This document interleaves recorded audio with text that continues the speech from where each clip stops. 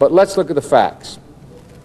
Since 1986, Congress has passed over 230 new or expanded penalties for drug and criminal offenses in this United States.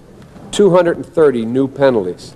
And these penalties range from an automatic five years in jail for any person caught with a, uh, with a, with a rock of uh, crack cocaine, a piece of crack cocaine as small as a quarter.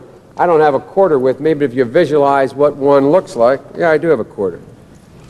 If you have a piece of crack cocaine no bigger than this quarter that I'm holding in my hand, one quarter of one dollar, we passed a law through the leadership of Senator Thurmond and myself and others, a law that says if you're caught with that, you go to jail for five years. You get no probation. You get nothing other than five years in jail. Judge doesn't have a choice.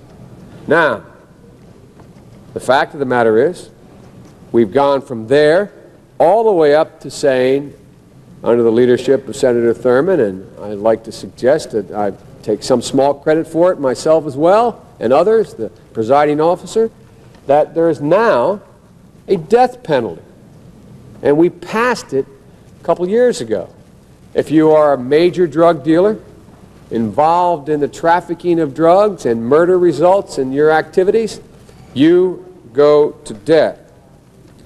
And a number of other severe penalties. We changed the law so that if you are arrested and you are a drug dealer, under our forfeiture statutes, you can, the government can, take everything you own, everything from your car to your house, your bank account, not merely what they confiscate in terms of the dollars from the transaction that you've just got caught engaging in. They can take everything.